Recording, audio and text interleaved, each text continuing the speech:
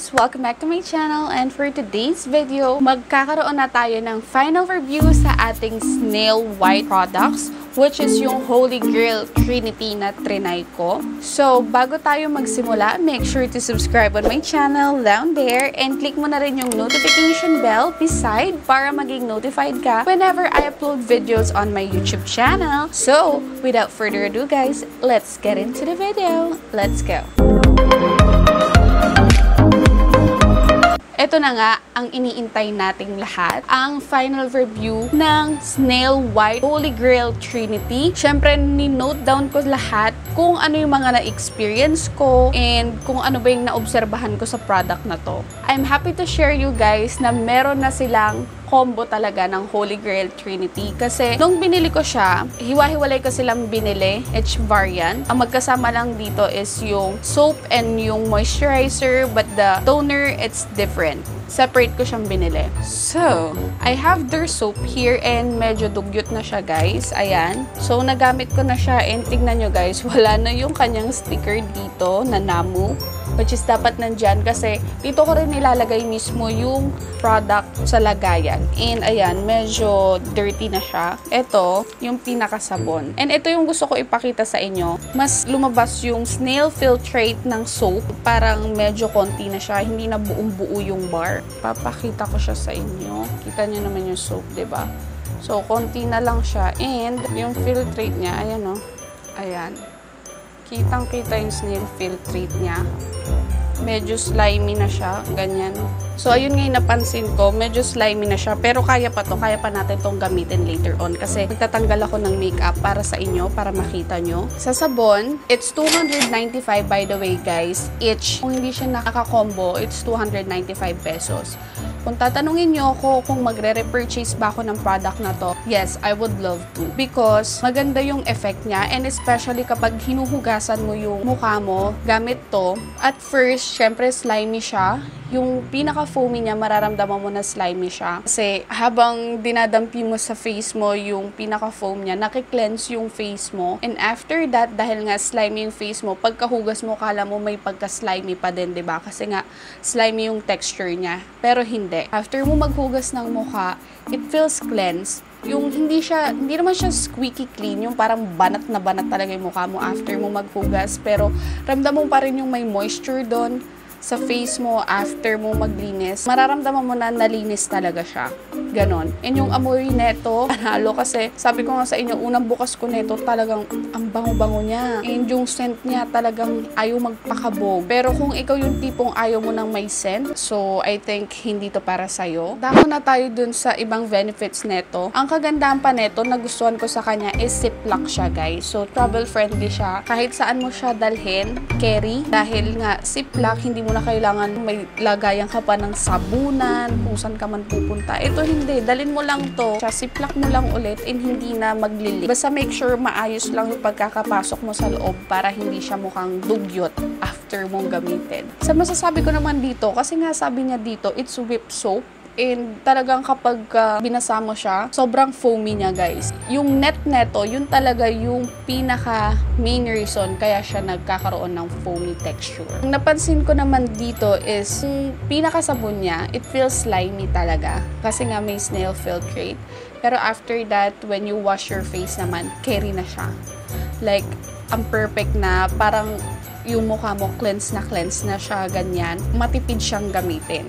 Lalo na kung hindi mo siya gagamitin sa katawan guys ha. Kasi yung sa konting kuskus mo ng ganyan sa whip soap, yung lalabas na foam nun, pwede mo na talagang ipang clean sa buong mukha mo eh. Hanggang leeg na yun guys.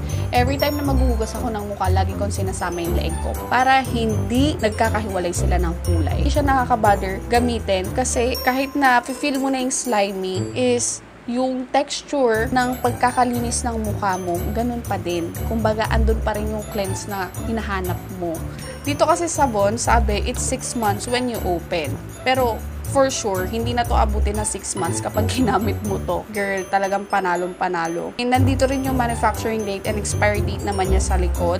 Kaya hindi ka na mag-hesitate bumili. Ayan. Medyo dugyot, pasensya na po. And 100 grams.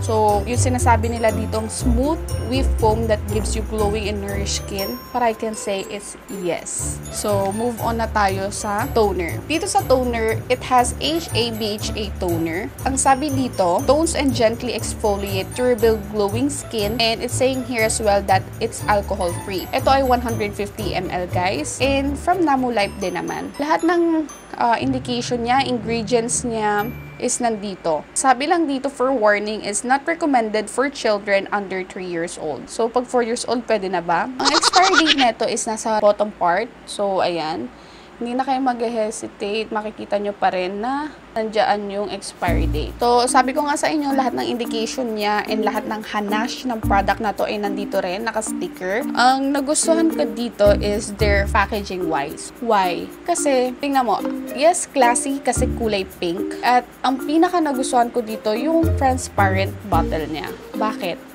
Kasi merong ibang toner na yung sticker is talagang silyadong silyado sis. Hindi mo makikita yung kung gano'n na siya karami. Kaya nagustuhan ko to kasi kitang kita ko kung gano'n pa siya kadami. Like ito, sa tagal ko siyang ginamit guys ha, parang one-fourth pa lang nababawas ko sa kanya. And I'm happy kasi matipid siyang gamitin. Kung una, nagko-cotton pads pa ako. And then when I realized na sayang siya sa product, gusto ko yung product eh. So, pag nilagay ko siya sa cotton pads, mas na-absorb ng cotton pads yung product. Kaya ang ginagawa ko, direct na lang. Lalagay ko siya sa, sa hands ko and then I'll just pat it on my face. And when you see guys, pag shinake ko siya, medyo mabula siya. Let me just take you a closer look. Para siyang may mga bubbles there, there. As you can see, medyo watery type siya na toner pero hindi siya ganun ka-heavy. And yung thick niya hindi rin naman ganun sobrang thick. More on watery side siya actually. And when you pat it, para siyang serum feel sa mukha. Ang retail price neto guys is 395. Kung bibilin mo siya ng mag-isa lang. Doon sa alcohol-free na sinasabi nila, doon kasi sa scent na naamoy ko, para sa akin na medyo may amoy alcohol siya. I don't know why. Meron kasi akong nabasa, isa doon sa mga na-research ko is uh, meron siyang parang hinalin tulad siya sa amoy perfume talaga. Yung scent niya kasi is uh, medyo strong siya, medyo may amoy ng alcohol ng konti. Pero wala guys, parang yun lang yung scent niya para mas maging aromatic yung toner. Let's talk about the HA-BHA na sinasabi ng toner nito. Yung sa iba na hindi nakakaalam ng HA, it is alpha hydroxy acid, it is a glycolic and lactic acid. And yung BHA, it is beta hydroxy salicylic acid which is both act to unglue the bonds holding the dull and dead skin on the surface of the skin. Once those bonds are broken, gently and evenly, skin naturally sheds in the spent of cells. So although you won't actually see your skin exfoliating, you'll soon see and feel the smoother, younger looking skin. This toner is exfoliator. Yeah, sabi nga dito, tones and gently exfoliate to rebuild the glowing skin. Nag-exfoliate siya pero hindi siya yung talagang makikita mo na tatanggal yung pagka ganyan mo, tanggal na talaga yung dullness. Hindi. Unti-unti siya na nagpapaglow ng skin mo na hindi mo napapansin. Punta na tayo sa mismong moisturizer which is yung Snail White Snail Secretion Filtrate Moisture and Facial Cream.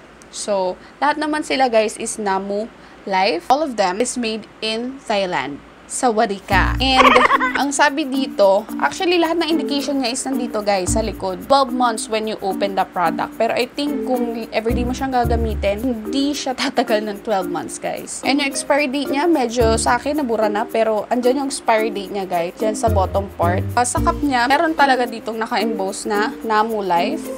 There. So, from the start is yung packaging, syempre. Yung una kong napansin sa packaging na to is, meron na kasi itong sticker na nakalagay dito, 100% hygienics. Perfect yun dahil napansin ko sa packaging na to, it's very hygienic type of container. Kasi yung moisturizer na to, sa loob. Kasi nga, hygienic type siya. Hindi siya yung moisturizer na parang gaganunin mo. I-scoop mo para ilagay sa mukha mo. Hindi. You just need to pop it over. Like, pero ayan guys, oh, meron siyang butas sa gitna, which is dyan lumalabas yung product pag pinush mo to or pag pinamp mo. Yung product na yun, na lumabas dito, yun yung gagamitin mo sa face mo. Which is maganda dahil hindi mako-contaminate yung nandun sa loob or yung mismong ibang product na hindi mo naman gagamitin. ba Mas okay yung ganun. Gusto ko siya kasi lightweight. Hindi siya yung kapag nilagay mo sa mukha mo, ang bigat. Alam niyo naman kasi yung, uh, yung ibang moisturizer may ganun eh. Yung mabigat yung feeling na kapag nilagay mo, kahit sobrang konti, parang ang bigat sa mukha. Alam niyo yun? And fast absorbent. Like, ganyan ka lang, tapos tap, tap, tap. Mas okay kung tatapat ka sa electric fan para mas na-absorb or mas mabilis ma-absorb ng muka. And then, gusto ko yung snail secretion nito. Ipump ko na nga para makita nyo since gagamitin ko rin naman. Ito guys, uh, I will just go to pump it there. Ayan. Ayan yung pinaka-product. Lalabas siya sa gitna. And then, when you see this one, ayan guys, so, lightweight siya. Hmm, and it smells so good. So, ayan, I will use this one later on. Nakikita mo mismo dun sa moisturizer, yung pinaka-snail secretion niya, ang perfect gamitin. And makikita mo, pag dampi mo pa lang sa mukha mo, ang lightweight niya talaga. It works to firm up and tighten your complexion while reducing the appearance of the dark marks and fine lines. Dahil perfect rin pala to pampa-anti-aging, guys. So, sa may mga mami natin dyan na gusto mag-try, perfect din pala siya sa may mga may wrinkles, you know, para mapalesen at mapabata tayo. Kaya pala, younger looking, ganyan. Yung scent niya parang fresh light herbal, na pag inamoy mo is, hmm, ang bango. Hindi siya nakakaumay amuyin. Hindi siya masakit sa ulo amuyin na ibang moisturizer na nakakahilo. Hindi guys. Hindi. Kaya yun din yung nagustuhan ko sa kanya.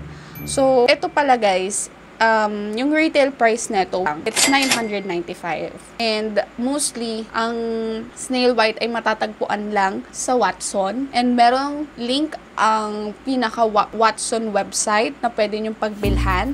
Gusto nyo, ililink ko na lang down there. And also, yung pwede rin siya sa Lazada and Shopee. I know. Dahil ito, itong combo na to is binili ko sa Lazada. Yung Snail White flagship mall nila doon, doon ko siya binili. Kasi kadalasan guys, laging may sale doon. So, mag-abang-abang tayo ng sale kasi syempre, mas makakatipid tayo at makukompleto natin yung product na gusto natin kapag sale, ba? Diba?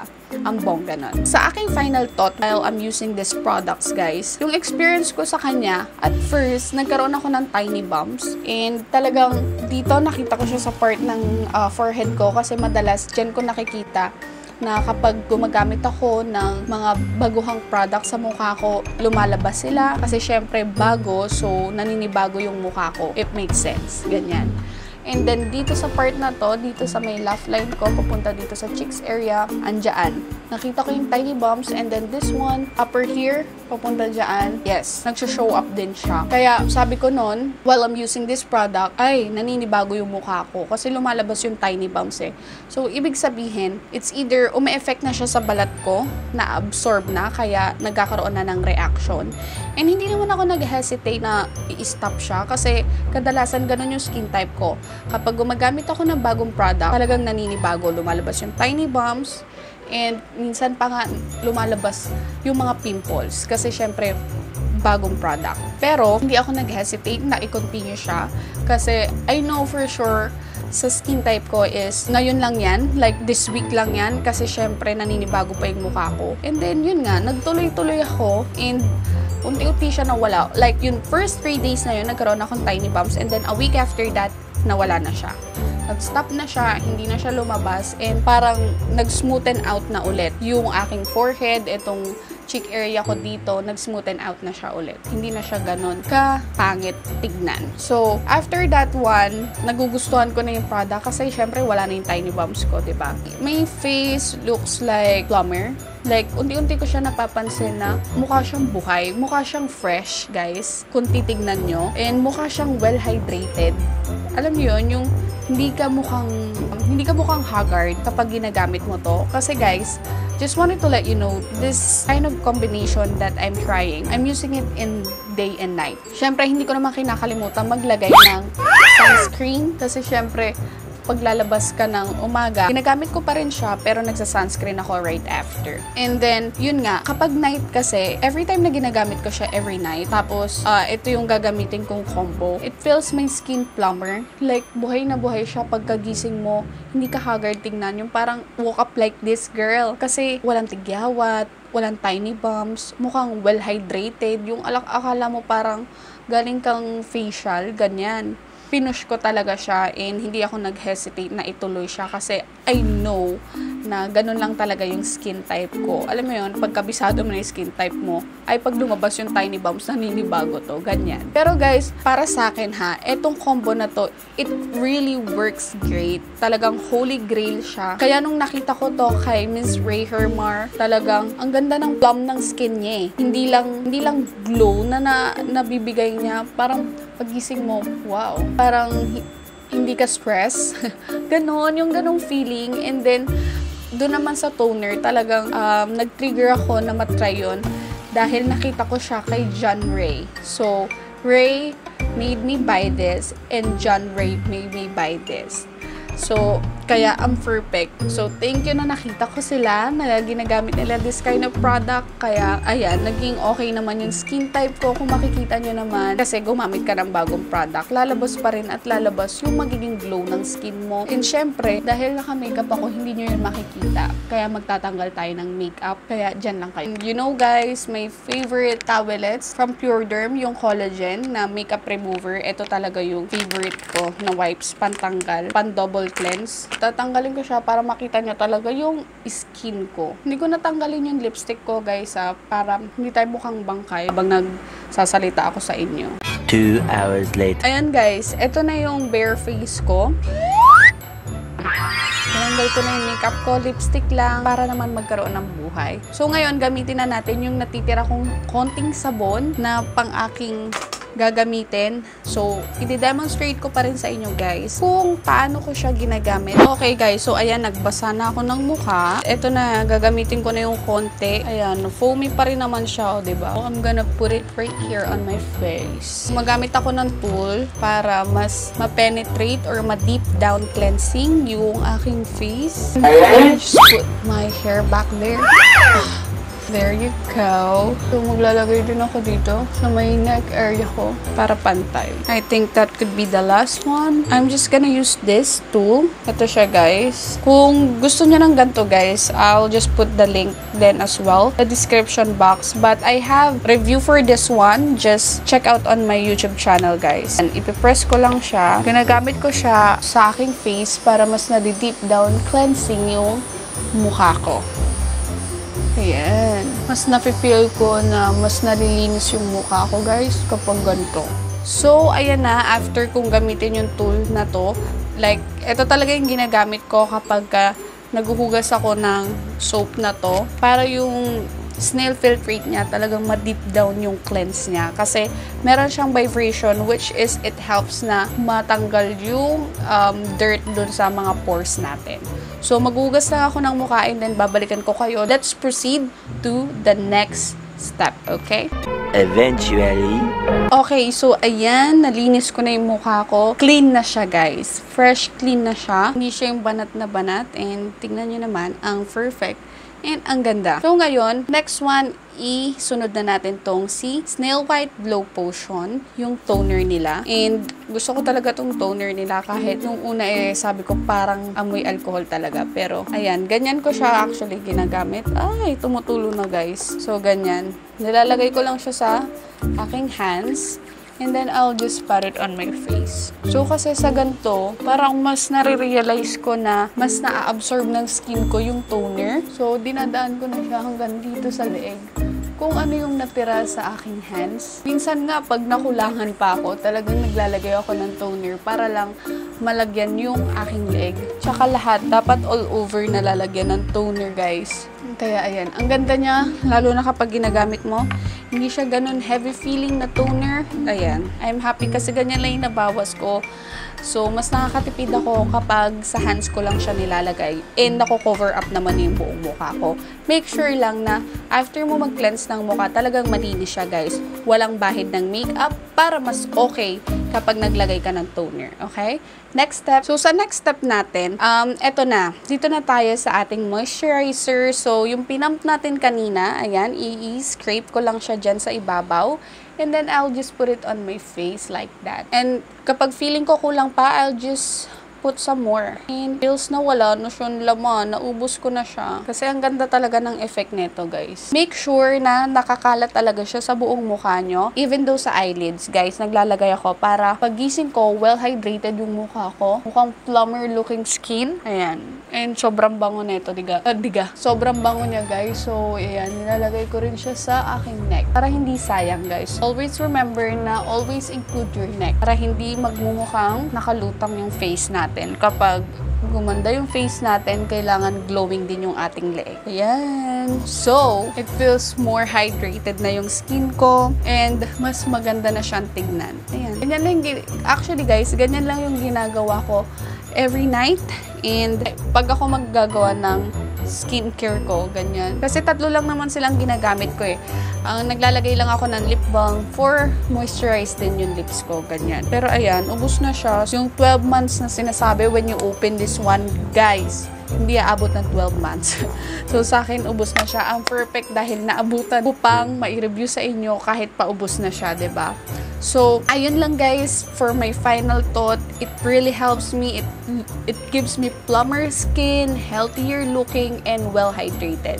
Parang kahit hindi ka na magtubig. Pero don't forget to stay hydrated. So, drink more, more, more, more water para hindi mag-dry yung skin natin. Kaya, ayan yung skin ko. Thank you for Snail White. Kung tatanungin nyo ako, guys, kung magre-repurchase ako ng Holy Grail na combo set na to, yes, I would love. Dahil perfect siya and hindi siya ganun ka-irritating sa face. Talagang settle lang, panalo, and ayun, amoy na amoy mo, hindi ka mababother kapag ginagamit mo siya. And guys, just wanted to let you know guys na meron na pala silang talagang combo. Kasi sabi ko nga sa inyo guys binili ko siya ng individual prices. Kung ano lang yung may combo na nabili ko is yung soap and yung moisturizer lang yun. Pero hindi kasama yung toner. So I'm happy na meron na silang mismong combo which is at yan guys. Meron na silang combo. And perfect na siya guys dahil pwede mo na siyang mabili sa 1,600 mabibili mo na siya guys ng 1,685 pesos makukuha mo na lahat. Plus meron ka pang free pouch. So guys thank you for watching this video and spending a time with me. And I hope it find it great at nakatulong sana ako sa inyo. And don't forget to like this video if you like so and comment down below guys if isa ka na rin sa gumagamit or you have any suggestion or any question. Make sure guys to subscribe on my channel down there. And i-click mo na rin yung notification bell para maging notified ka whenever I upload videos on my YouTube channel. So have a good one everyone guys. I love you all. Bye for now